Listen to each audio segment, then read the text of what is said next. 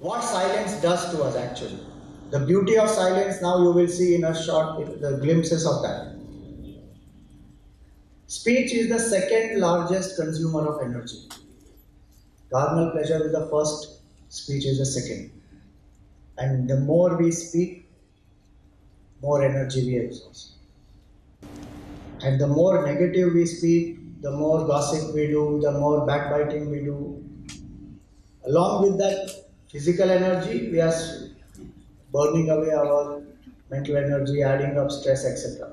So, speech is something which consumes a lot of our energy. And hence, to conserve the speech is a very, very important aspect. In fact, spiritual sadhana can begin only with this. In a beautiful text called Vivek Chudamani, Shankaracharya ji says that योग से प्रथम द्वार वांग निरोधो अपरिग्रह the first step to yoga yoga there it meaning it does not mean Ashtanga yoga yoga there he means to unite with the self so he says first step to unite with the self begins with vang nirodh control of speech There's a nice Subhashita which says that Jihvagre Vasate Lakshmi, at the tip of your tongue resides Lakshmi. You can speak in such a way, the salesman who does such sweet talk and knows how to sell will create the need in your mind and sell the product, and when you come back home, you will then realize, oh, I didn't need this also. But he has created Lakshmi by his sweet talk. Jivagre Vasite Lakshmi. Jivagre Mitra Bandhava. One can speak nicely, politely, lovingly, and build friends. And Jivagre Maranam Dhruvam also. I can speak in such a way that I can even get killed. So, speech is something which is very, very powerful. And it is said of all the ten senses, a person who knows to control the speech can master the rest of the senses. Because speech plays both. Tongue has a taste and also has the vak indriya. So control over the tongue is a very important aspect there. And in that speech is another aspect. So speech conserve, I mean consumes a lot of energy. You think about it, when you do Maun Vrat, is it not easier to turn within?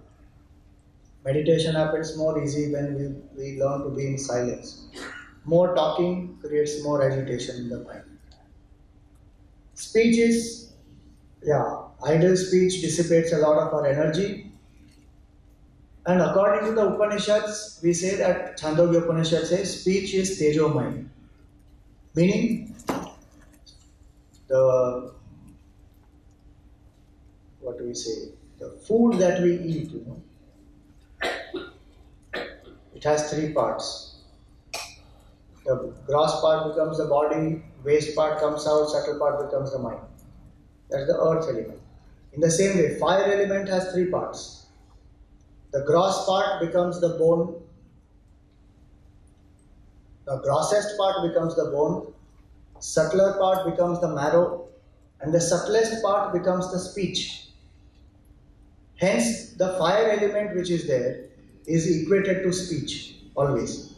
So we always have the expressions like heated debate, fiery speech.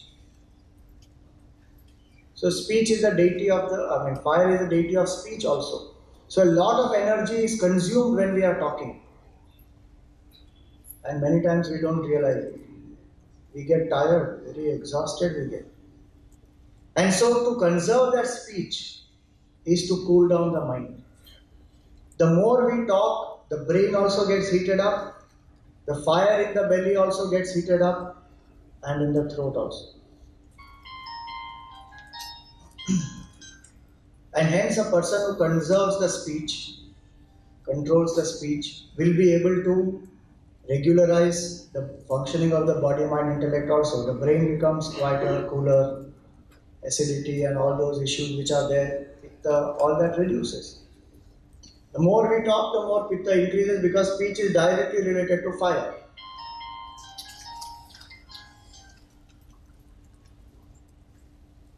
It's just a sound. I'm not telling that people should have their phones on, but our focus in a Vedantic lecture should be such that nothing bothers us. I'll tell you one small instance of what Tapovan Maharaj used to do.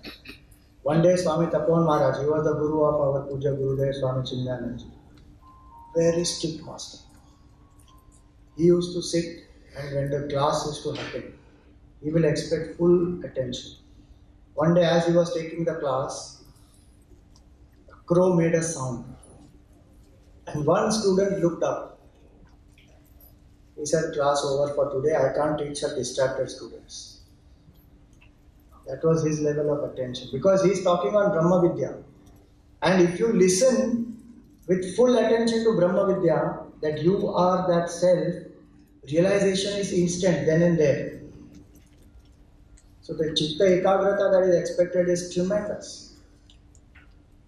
So don't let all these small things bother. And if at all it should bother, it should bother me because I have to think and talk. Uh-uh.